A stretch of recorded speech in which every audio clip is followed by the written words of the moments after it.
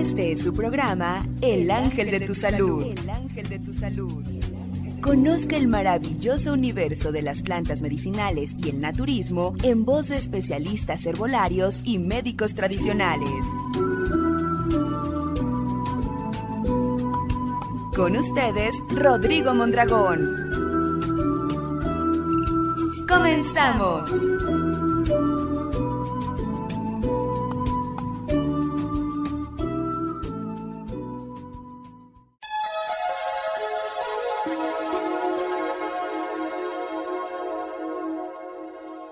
Hola, ¿qué tal amigos? Muy buenos días.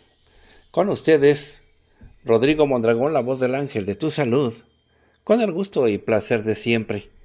Vamos a platicar acerca de un padecimiento que pues pareciera que no, pero sí es común. Onicofagia infantil.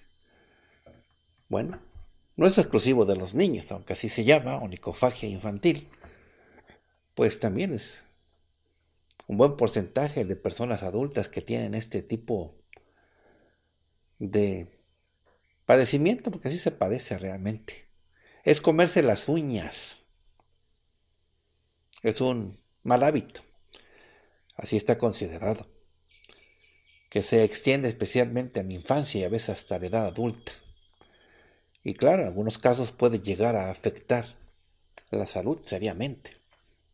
Así es de que si descubrimos nos damos cuenta que nuestros menores se muerden las uñas, lo que se recomienda siempre hemos escuchado, ¿no? Que hay que buscar la causa, la razón, el motivo para pues evitarlo, atenderlo, resolverlo.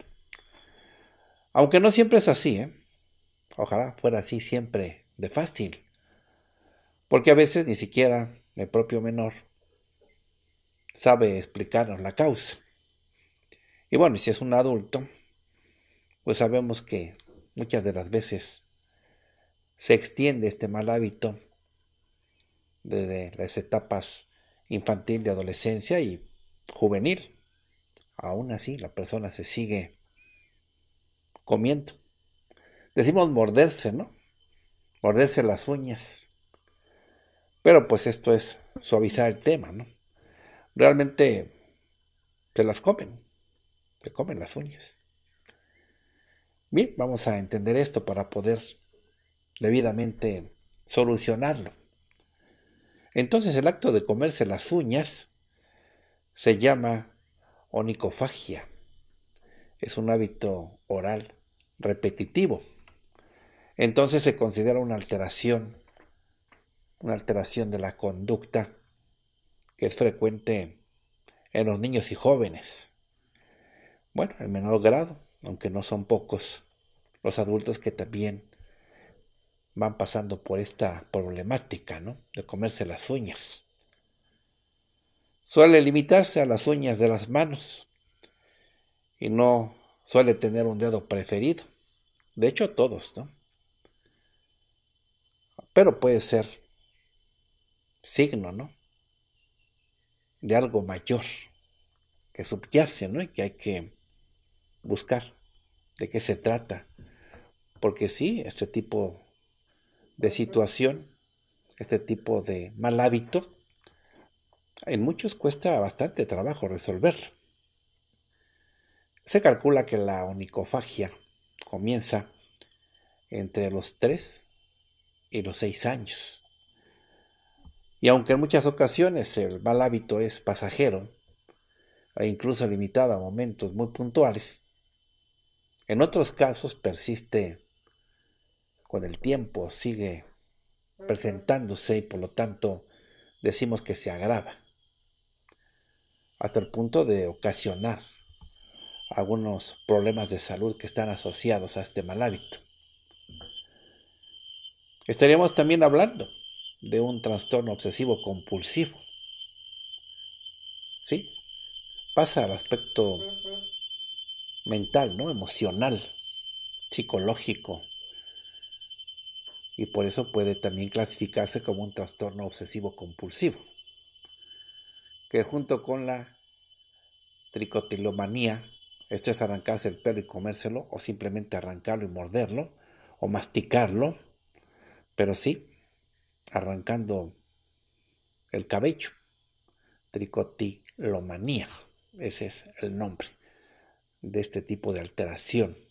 Bueno, estos dos trastornos pueden clasificarse como pues trastornos emocionales. Arrancan en la infancia y sobre todo en la adolescencia. Bueno, en este caso ya estamos asociando otro tipo de malos hábitos que tienen que ver con el aspecto emocional del menor o del mayor también, puede ser. Son muchas causas que pueden llevar al niño a morderse las uñas y comérselas o simplemente estarlas ahí masticando.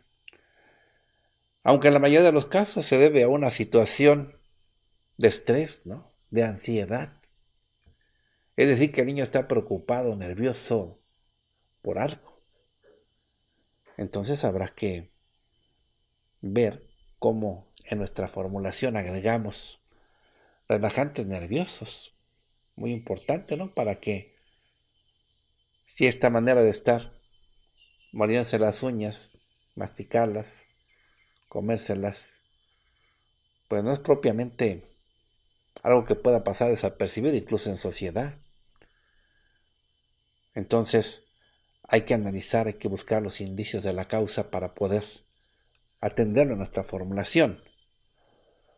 Puede asociarse con otros hábitos también incorrectos, chuparse el dedo, estarse frotando o tocándose la nariz constantemente, rabietas también, pesadillas, sonambulismo, puede venir junto con esto, ¿verdad? Que la persona esté chupándose el dedo, tocándose la nariz, haga rabietas, padezca de pesadillas, de sonambulismo. Bueno, ahora veamos el aspecto físico, ¿no? Puede dar lugar a daños en la cutícula, haber sangrado, haber deformidad en las uñas.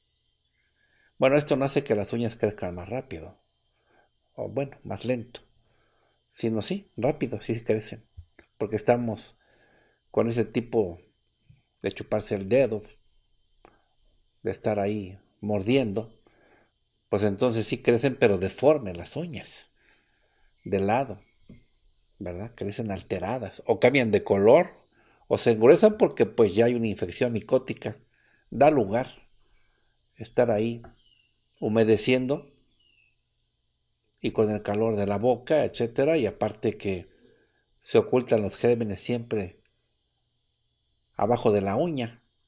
Entonces, pues la persona se lleva los gérmenes directamente a la boca y se deforma, ¿no? Se lastima. Bueno, en algunas otras ocasiones podría hacerlo la gente por no encaminar debidamente su aburrimiento.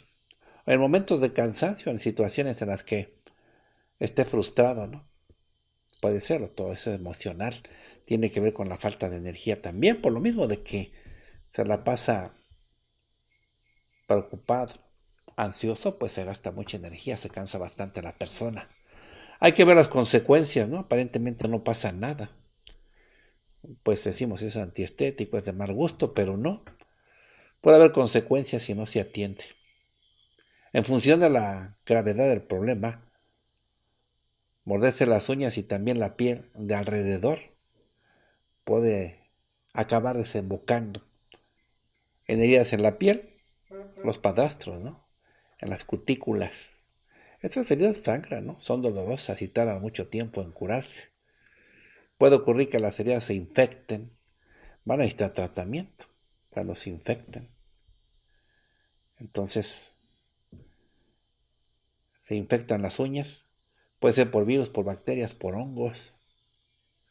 Estas lesiones se producen sobre todo cuando el menor se muerde la zona de la cutícula, o sea, la piel, que está alrededor de la uña. Se deforman entonces las uñas. Cuando este hábito de estarse mordiendo las uñas se prolonga durante mucho tiempo, pues ya se deforma así y cambian a amarillentos, se ven feas, ¿no? Cucharudas. Ahora también puede desviar los dientes. Puede ocurrir que el hábito de morderse las uñas derive en una desviación de los dientes incisivos. Sí, se enchuecan, salen torcidos. Por este hábito puede suceder. O sea, en algunas ocasiones, ¿no?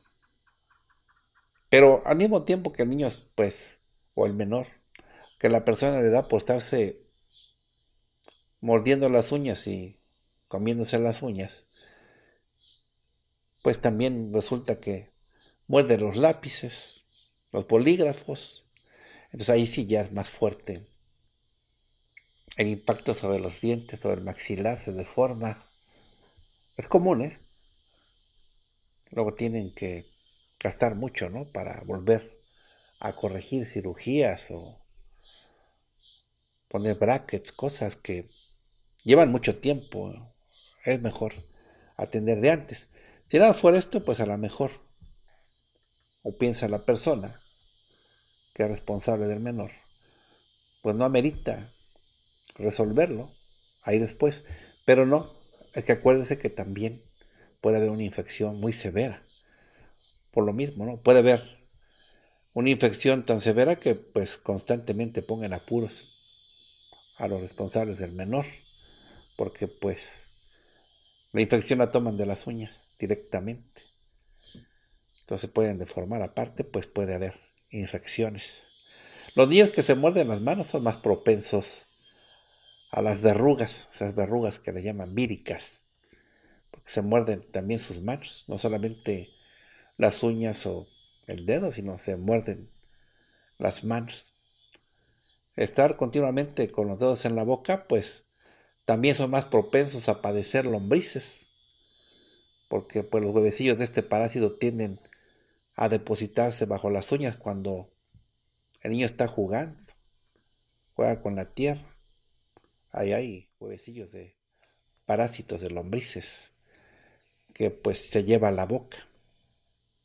También estamos platicando de los problemas bucodentales, como las maloclusiones, que es cuando los dientes pues salen encimados así, salen girados, torcidos, se debe a esto. O bien hay interferencia en el crecimiento normal de la musculatura orofacial, hay deformidades. También los dedos se deforman, se tuercen así como arco por este, esta adicción, este tipo de mal hábito, ¿no? De manía. Esto puede afectar incluso las relaciones sociales del menor. Puede generar cierto tipo de timidez, de introspección, ¿no?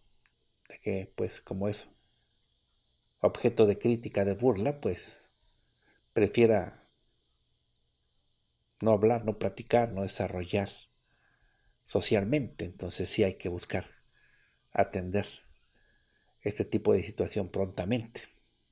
Bueno, se le puede explicar ahí que tenemos que hacer la fórmula, ¿no? Porque estamos viendo que está implícito el problema emocional. Hay que relajarlo, hay que tranquilizarlo, hay que buscar que el menor pues esté más equilibrado, ¿no? Vaya desarrollando bien. Se enfrenta a muchos cambios bruscos por motivo de crecimiento, entonces es el problema de que está sometido a mucha presión, mucho estrés, a medida que va pues desarrollando, creciendo. Ahora, hay que ver los porcentajes, ¿no? Esto es importante, siempre las estadísticas nos aclaran muchas cosas, ¿no? Los niños se muerden las uñas de manera más habitual que los adultos, o sea, no estamos exentos. Pero los adolescentes son quienes más presentan esta costumbre. Un 45%. Y en el caso de los adultos desciende a un 10%. Son los datos estadísticos. El hecho de que un niño se muerda las uñas puede ir asociado a algún problema de conducta. Es poco habitual que los padres acudan a una consulta de salud mental por el solo hecho de que su hijo se muerde las uñas. Sin embargo, pues Es preocupante el comportamiento. Pues como que se está ya grande, mordiendo las uñas y comiéndose las uñas. Es una conducta repetitiva y para la persona que lo padece es irresistible, del tipo obsesivo compulsivo, así se define. Entonces, pues, el porcentaje es alto. A veces se debe a la falta de minerales, así lo vemos nosotros también en el volaria, que le falta hierro, algunos minerales. Es una causa física el déficit de hierro. Entonces, busca completar, ¿no? Esa ansiedad tiene que ver con una necesidad en algunas ocasiones. Quiere ingerir el hierro de las uñas como si fueran nutrientes. No, pues hay que buscar mejor suplementarlos para que de esta manera, de esta manera no haya heridas, infecciones, deformidades o cambios en el color de las uñas, porque son consecuencias de estárselas mordiendo. Bien, vamos al cuarto y regresamos.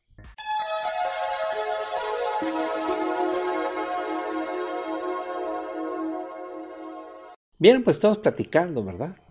¿Qué sucede con eso de comerse las uñas? Así se denomina onicofagia, pues es uno de los trastornos más frecuentes de la infancia.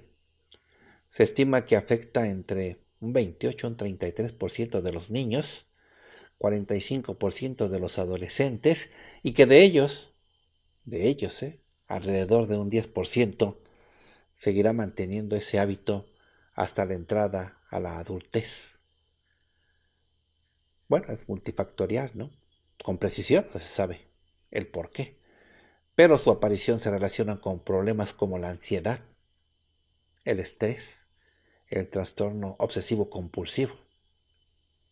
Se puede creer que tiene una base genética, ya que muchos niños que padecen onicofagia tienen familiares que también se mueren y se comen las uñas. Sin embargo, el problema de comerse las uñas no es puramente estético, sino que va a afectar, va a incidir en su salud, en el bienestar de los niños. Por ejemplo, afecta el desarrollo emocional y social. Ya se ha demostrado que los niños que padecen onicofagia suelen tener una autoestima muy baja. A la vez, claro, que son propensos a sufrir depresión y ansiedad. También tienen más dificultad para desarrollar sus habilidades sociales, su habilidad para ser amigos. A menudo pues son rechazados por el resto de los niños. Sobre todo cuando los daños en las uñas pues ya son muy evidentes, ya se distinguen, ¿no? Ya cualquiera lo nota. Es ahí cuando hay cierto rechazo. Provoca infecciones, esto es muy importante y no hay que perderlo de vista. Una de las consecuencias más comunes de morderse las uñas son las infecciones. Sí, porque debajo de las uñas hay gérmenes, incluso bacterias potencialmente patógenas como la Escherichia coli, la salmonella, pueden entrar al organismo a través de la boca. Asimismo pueden causarse infecciones en la piel. Una infección que se llama paroniquia, o sea, uñero, así coloquialmente se le dice un uñero. Es una infección que aparece alrededor de las uñas. Claro, se va complicando, resulta muy dolorosa, incluso puede ser purulenta. Propicia aparición de hongos, tómalo en cuenta. Llevarse los dedos continuamente a la boca propicia la proliferación de hongos como resultado de la humedad constante en la zona. Se van debilitando las capas más externas de la piel y por lo tanto más fácil penetra el hongo. Y luego eso difícil de combatir. Porque se lleva a la boca, entonces la boca al estómago. Imagínense. Habrá que tener cuidado, ¿no? Uno prácticamente está comiendo los gérmenes altera el crecimiento de las uñas. Estamos insistiendo mucho en que tengan cuidado. Ese mordisqueo constante de las uñas provoca microlesiones, microtraumatismos que afectan la uña, ¿no? Hay lesiones, hay deformidad. Entonces, no crece igual, ¿eh? lo hace disparejo. Por lo tanto, pues el aspecto de las uñas sí. Ya vimos, ¿no? 10% de los adultos todavía no se han librado. ¿Desgastan los dientes? Sí. Morderse las uñas puede provocar desgaste en los dientes, sobre todo cuando este hábito pues ya tiene tiempo. Da lugar a una mala oclusión en los dientes anteriores, a la pérdida del esmalte. Es la sustancia que protege a los dientes de los alimentos, los ácidos en la boca. Y es la que les da el brillito, la blancura, el esmalte. Pues hay que ayudarles, ¿no? Hay que utilizar un tratamiento. Algo que se utiliza desde siempre en la herbolaria, claro, vamos a tratarlo, ¿no? Pero así como primeros auxilios, ¿no? Para aplicar, en donde se chupan su uña, le muerden, le mordisquean, pues se le aplica cibar, cuando son pequeñitos, ¿no? Que todavía el estarles haciendo tomar conciencia lleva más tiempo, se les aplica un poco de va sabe amargo, amargo. Les recuerda, ¿no? Que es un hábito incorrecto. Pero hay que ir al interior, pues eso nada más es como para que rechacen, se acuerden. Pero pues es a veces muy insistente el aspecto emocional, ¿no? Que los obliga. Es más, se van a lavar las manos algunos para continuar mordisqueando. Se aplica así el polvito. Ayuda mucho, pero más bien hay que hacer una fórmula, ¿no? Porque en la fórmula tenemos que incluir, de acuerdo a lo que hemos estado analizando, ¿verdad? Indagado del padecimiento, aprendiendo, pues de que necesitamos relajantes nerviosos, porque de todas maneras el menor está, o de cualquier edad, ya vimos que es de cualquier edad, está alterado, está preocupado, está nervioso, hay que relajarlo. Hay que utilizar plantas antisépticas, claro, porque pues estamos atajando lo que pudiera ser una infección que se puede presentar por la situación de estarse mordisqueando las uñas. Tenemos que utilizar plantas vermífugas. Son para eliminar los gusanos intestinales, las lombrices intestinales. Pues sí, de seguro, ¿no? Con las uñas a veces los menores se reinfectan si es que ya tomar algún tratamiento. O igual juegan en la tierra, o ponen sus manos donde quiera y bajo las uñas se ocultan los huevecillos de los parásitos intestinales y demás gérmenes, ¿no? Que le acompañan. Pues resulta que ahora puede haber parásitos de una vez. Hay que desparasitar a la persona. Igual hay que reparar el daño en la piel, en la cutícula, en la uña, utilizamos demulcentes. Así se llama la acción terapéutica de demulcentes. Y así, de esta manera, vamos a mineralizar, porque ya vimos que si falta hierro, también le da esta ansiedad, ¿no? De estar buscando el hierro, pues en otra parte, ¿no? Entonces, muchos de ellos, los menores, ante esta carencia, pues se mordisquean, se comen las uñas. Por eso se lo comen, ¿eh? No solamente, Claro, el pretexto es de que me las recorto con los dientes, pero no es así. no, no sucede que esa sea la cosa estética. Es la ansiedad esa que les da. Nerviosismo, inquietud, preocupación. Imagínense cómo está la persona que... La idea igual que lo vean. Por eso hay que apoyarlos en este sentido, ¿no? No exhibiéndolos. No sé, utilizando una palabra clave, ¿no? Cuando uno esté en reuniones o con otros para no ponernos en evidencia, en vergüenza. Decirles una palabra clave, ¿no? No sé, bonito día, ¿no? Y él está entendiendo. No te muerdas las uñas porque te están viendo, no es correcto, bla, bla, bla, ¿no? Bueno. Y pues a estarles auxiliando, reparando los daños que se están haciendo, curándolos y dándoles su tratamiento porque no es fácil para ellos, ¿eh? cuesta trabajo, mucho trabajo. Pero sí se logra, ¿eh? sobre todo con el apoyo de las plantas, tal y como estamos diciendo. Bueno, vamos a escuchar a Iván que tiene comentarios, a ver qué planta nos sugiere, nos recomienda para relajar al menor bueno, al adolescente o al adulto, pero pues es, aunque se llama el padecimiento que estamos hoy platicando de él, onicofagia infantil, ya vimos que hasta el 10% de los adultos todavía no se han librado de este mal hábito, así es de que, Jorge Iván, platícanos con qué planta podemos resolver. Adelante. Muchas gracias, maestro. Bien, eh, para atender este tema de onicofagia infantil, encontramos dentro de la medicina tradicional excelentes recursos. Dentro de ellos, bueno, pues podemos hacer referencia a, los toronjiles. Los toronjiles, bueno, pues son especies vegetales que se caracterizan por presentar eh, flores muy vistosas de distintos colores y también, bueno, pues por ser una planta con un aroma muy, muy agradable. Esto se debe particularmente a que el aroma nos da la indicación de que es una planta rica en aceites esenciales y los colores, bueno, pues que llegan a presentar sus flores como es el azul, el morado, el rosa, el blanco, etcétera, eh, nos da la indicación de que son ricos en principios activos como son los flavonoides, sustancias que resultan ser excelentes antioxidantes. En este caso particular, es muy importante que podamos atacar el origen de este trastorno bueno, pues eh, con una planta tan importante como son los toronjiles. ¿Por qué? Porque necesitamos en primer lugar combatir esa ansiedad, esos estados de nerviosismo,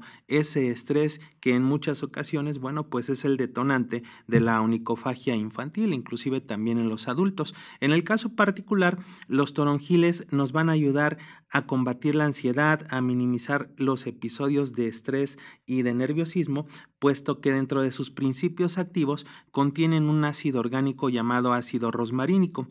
Este ácido es muy importante. ¿Por qué? Porque tiene la capacidad de aumentar la actividad de los neurotransmisores del cerebro, como es el caso del neurotransmisor GABA, que contribuye a una sensación de relajación del cuerpo. Nos produce, eh, cuando se incrementa su producción, una sensación de bienestar y de tranquilidad. En consecuencia, las crisis de ansiedad, los estados de nerviosismo y los estados de estrés se minimizan por completo. Como consecuencia de ello, bueno, pues también se va a minimizar y se va a reducir esta práctica de estarse mordiendo las uñas. También, bueno, pues hay que mencionar que los toronjiles son una planta que contribuyen de una manera muy importante a la salud del sistema nervioso y a la salud mental. Es una planta que inclusive la utilizamos mucho en medicina tradicional para atender los dolores de cabeza, la utilizamos inclusive para atender las migrañas. Esto se debe a que la planta tiene como característica especial la presencia de ácidos orgánicos que le confieren eh, acciones analgésicas, le confieren acciones relajantes y por supuesto antiinflamatorias. Esto es muy interesante porque los toronjiles tienen entonces la capacidad de relajar los músculos, tienen la capacidad eh, de liberar la tensión, inclusive de relajar los vasos sanguíneos que se encuentran muy tensos durante estos procesos de dolor de cabeza y de migraña, lo que contribuye sin duda alguna a minimizar estas dolencias. Por ello, bueno, pues es muy importante también en este tratamiento. Dadas sus características que tiene como ser una planta eh, relajante, una planta ligeramente sedante, se utiliza también mucho en el tratamiento del insomnio.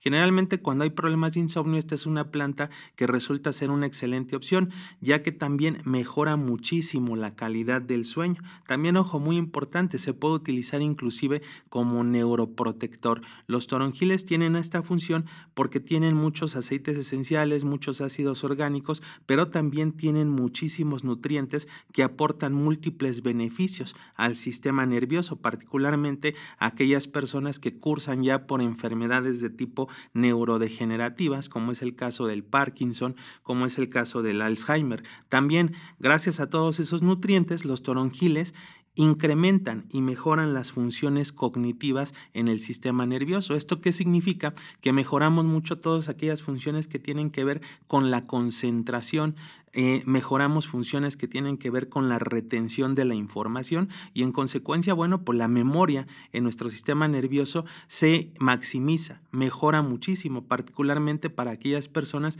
que ya olvidan las cosas con mucha facilidad. Bueno, pues esta es una planta ideal para fortalecer y para tonificar su sistema nervioso. Ahora bien, hay que mencionar otra de las características importantes que tienen los toronjiles. Eh, tienen la capacidad de mejorar mucho las funciones digestivas. Gracias a los aceites esenciales que posee, como por ejemplo el citral, este es un aceite esencial de efectos antiespasmódicos y carminativos, lo que significa que nos va a ayudar a inhibir la producción de aquellas sustancias que incrementan la contracción del intestino y que, bueno, pues eh, como consecuencia de ello llegan a producir mucho estreñimiento, llegan a producir muchos cólicos intestinales, llegan a producir la acumulación de gases excesivos. Entonces, bueno, en este caso los toronjiles tienen la capacidad de inhibir esa inflamación, de inhibir esos espasmos, aunado a que puede funcionar como un excelente eupéptico, como un excelente tónico digestivo, mejorando considerablemente los procesos de la digestión, maestro. Y vamos al corte, regresamos.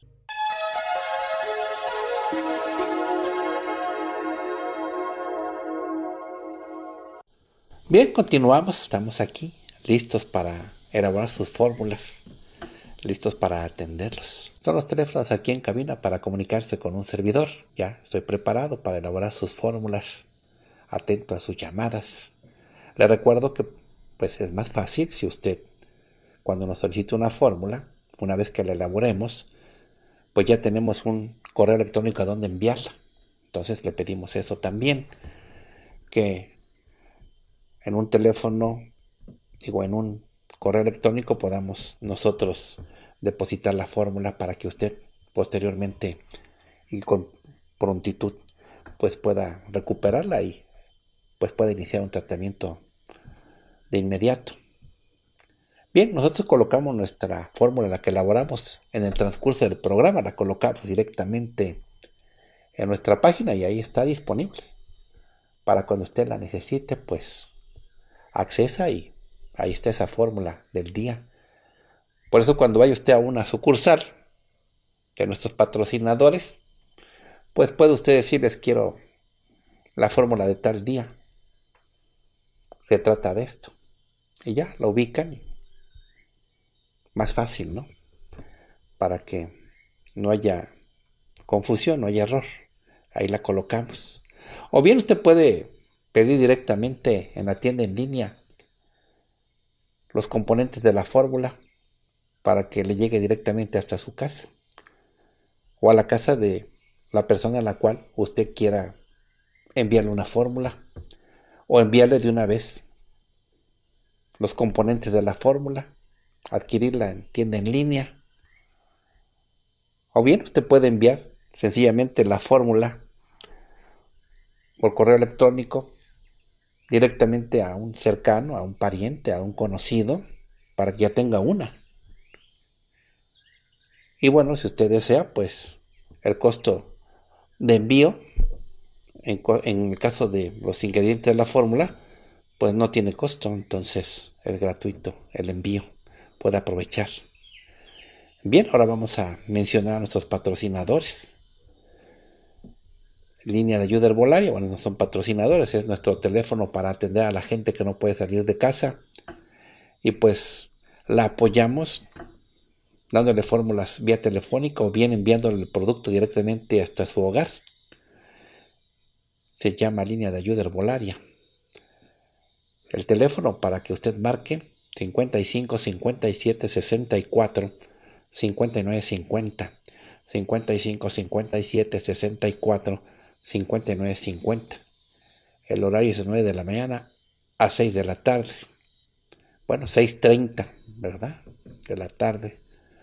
Para que se amplíe un poco el horario, para que tenga más oportunidad de ser atendido. 6.30 de la tarde, de lunes a sábado.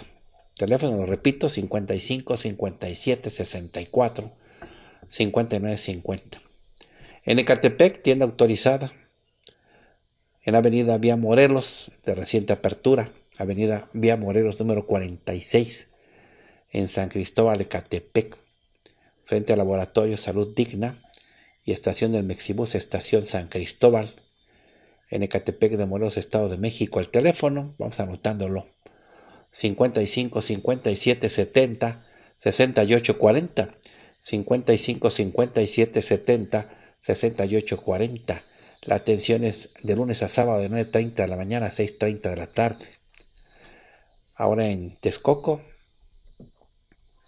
tienda en Texcoco, Estado de México, ubicada en Nicolás Bravo 214, primer piso, Colonia Centro, entre Fray Pedro de Gante y Leandro Valle, a una cuadra de la catedral en Texcoco, Estado de México, frente a Coppel.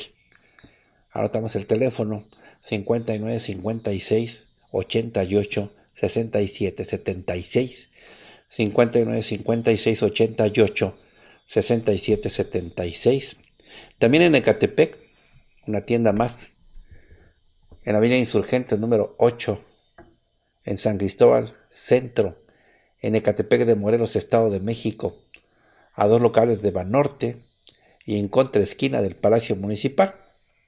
Está más cómodo, está en el primer piso. Eh, no, planta baja. Es planta baja. Se cambió la que estaba a cuadra, cuadra y media a este lugar para mayor comodidad de, nuestras, de nuestros pacientes. Le repito, la dirección Avenida Insurgente número 8 en San Cristóbal Centro, en Ecatepec de Morelos, Estado de México, a dos locales de Banorte y en contra esquina del Palacio Municipal, el teléfono 5770 6840. Ahora en la Ciudad de México, en el centro histórico, en la calle 5 de febrero, número 48, casi esquina con mesones, a una cuadra de la farmacia París, el teléfono 55 51 62 51 21 55 51 62 51 21 en la Ciudad de México. En la Merced, en anillo de circunvalación, también tienda autorizada.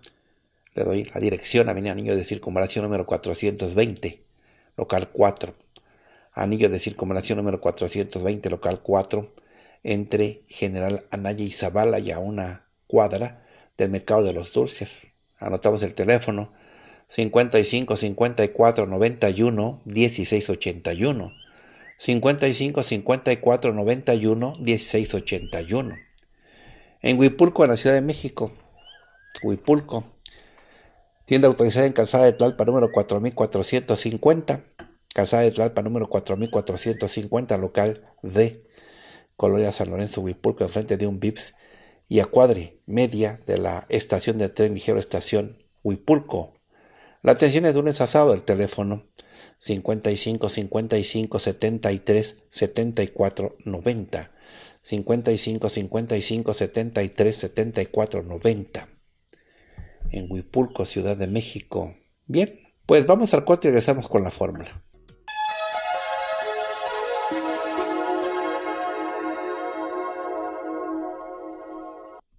Bien, pues estamos platicando, ¿verdad? De lo que consideramos únicamente un mal hábito, ¿no?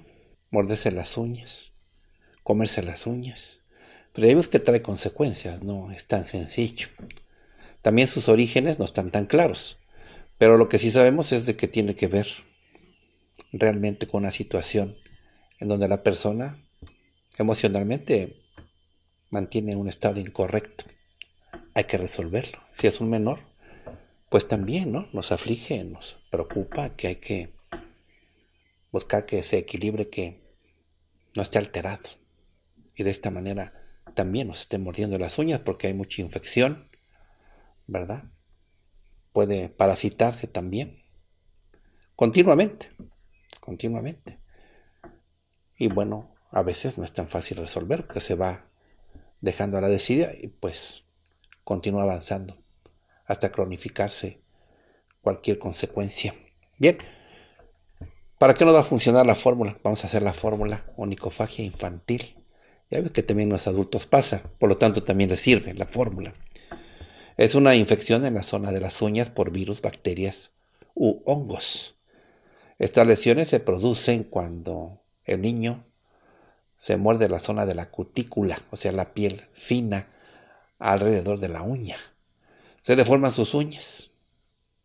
Este hábito de morderse las uñas se prolonga durante mucho tiempo, se deforman y su color cambia a amarillento.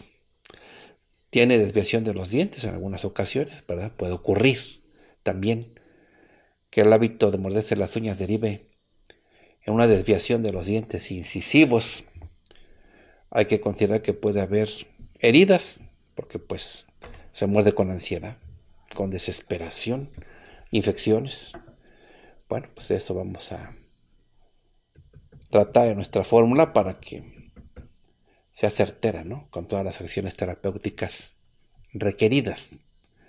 Bien, entonces las plantas son cabacaba, pericón, toronjiles, tila de bolita, zarzaparrilla de Puebla, granadilla blanca, nuevamente, cabacaba, pericón, toronjiles, tila de bolita, zarzaparrilla de Puebla, granadilla blanca. Mezclamos las plantas juntas por partes iguales, ya mezcladas. Una cucharada sopera para un litro de agua, 10 minutos de hervor. Y vamos a tomarla antes de cada alimento. Antes de cada alimento hagamos la formulación con cápsulas, con suplementos. Utilizamos hierro y quinua. Hierro y quinua. Omegas 3, 6 y 9. GABA con betacaroteno polen de flores. Nuevamente, hierro con quinua, omegas 3, 6 y 9, GABA con betacaroteno, polen de flores. De estas cápsulas, una de cada una se toman antes de cada alimento. Una de cada una y se toman antes de cada alimento. El suplemento del día que se puede tomar como coadyuvante del tratamiento que estoy mencionando o bien para fortalecer el sistema inmune en este caso también los nervios. El elixir que contiene orégano, jengibre, hierbabuena y romero. El elixir que contiene orégano, jengibre, hierbabuena y romero. La clave es 1826. Clave 1826. Se toma un vasito dosificado al levantarse y otro vasito dosificador de producto antes de acostarse. Dos veces al día. Al levantarse, antes de acostarse, un vasito dosificador, total dos. Esto es diariamente. Ahora sí, ya tenemos la formulación completa. Continuamos, ahora vamos a contestar llamadas. Iniciamos, buenos días, ¿con quién hablo? Doctor, muy buenos días. Buenos días. María, Guadalupe Ramírez, doctor. Bueno, a tus órdenes, ¿en qué te ayudo? Muchas gracias. Doctor, quisiera este pedirle de favor un tratamiento. Con gusto. Adelante, dime qué tienes. Sí, mire, este la paciente tiene 43 años. 43 años, sí. Mide unos 56 y unos 56, sí. ¿Cuántos kilos? 70. 70, ¿qué le sucede a la persona? Sí. Mire, ella ella desde jovencita, ahorita tiene 43 años, pero cuando tenía como 18, este le descubrieron un quistecito en el seno derecho. Incluso tenía como un pezoncito este abajo del pezón normal, un pezoncito chiquito por donde le salía este como líquido, o sea, se apachurraba y le salía. Pero ese ese no le molestaba, solo se tocó una bolita y la tenía, pero pero no pasaba de ahí. Con el tiempo, ya con los años se le quitó, pero le brotó en el seno izquierdo. Ahora ya a su edad se ha hecho muchos estudios, doctor, y, y le han salido más este quistecitos Dice que el más grande tiene dos centímetros.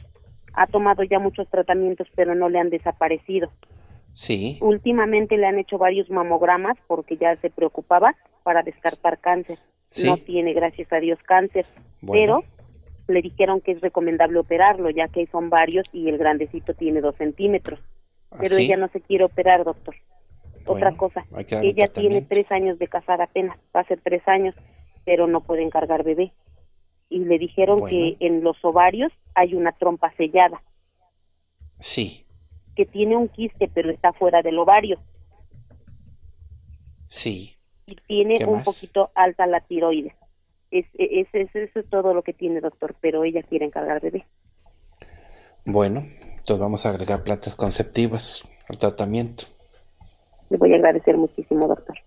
Bueno, vamos a hacerlo entonces. Utilizamos lo siguiente, utilizamos alcacil, enebro, acollo morado, palo guaco, palomina, verbena. Por lo siguiente, alcacil, enebro, acollo morado, palo guaco, palomina, verbena. Mezclamos las plantas juntas por partes iguales, ya mezcladas. Una cucharada sopera para un litro de agua, 10 minutos de hervor. Se toma como agua de uso. Vamos a buscar suplementos. Utilizamos lo siguiente. Utilizamos maitake.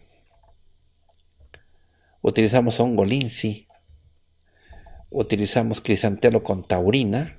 Buscamos otra más. Malungay con inositol. Voy a mencionar otra vez. Maitake. Linsi. Crisantelo con taurina. Malungay con inositol. Bueno, estas cápsulas una de cada una y se toman antes de cada alimento. Me dio gusto atenderte. Bien, pues estamos viendo que esta situación de hábitos incorrectos que a veces criticamos no está del dominio de la persona, aunque se llaman así, malos hábitos, obedecen a una consecuencia de estar alterado en sus emociones. Tiene que ver con la nutrición también, ya lo vimos, ¿no? La, la crítica debe ser atenuante, ¿no? Porque realmente si le falta hierro, algún nutriente, algún mineral, pues le da ansiedad, ¿no? Pasa como en la embarazada, que también, si le faltan nutrientes, bueno, a veces la vemos que está comiendo pedacitos de ladrillo, de pared, de yeso, ¿no? Es una ansiedad compulsiva. Pues hay que buscar una formulación para nutrir adecuadamente. Las plantas tienen todos los nutrientes, las plantas pues pueden tener mineral que requiere la persona para que lo resuelva y entonces no se esté observando que se muerde las uñas o come cosas o muerde los lápices o cosas duras que le pueden causar problemas bucales severos. Si es menor, pues está en desarrollo. Entonces, después, el uso de Blacks es muy doloroso, muy costoso, muy postrante. Entonces, mejor atender también sus nervios, porque pues eso puede derivar en otra cosa también. Ojalá y no, por supuesto. Ya nos vamos, gracias por su atención, gracias por su compañía. Jorge Iván, muchas gracias por tu participación. Gracias por la invitación. Me despido con una frase de Amado Nervo. La tristeza es un don del cielo. El pesimismo es una enfermedad del espíritu. Hasta luego, que estén muy bien. Este fue su programa El Ángel de tu Salud. El Ángel de tu Salud. El Ángel de tu Salud. El Ángel de tu Salud. Escúchenos de lunes a viernes por esta estación.